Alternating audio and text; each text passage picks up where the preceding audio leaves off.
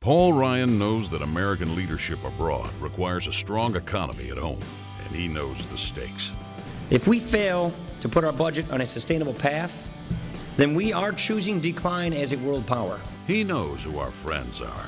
Iran's president called our ally Israel, quote, a cancerous tumor that must be excised. Under President Romney, our adversaries will think twice about challenging America and our allies because we believe in peace through strength.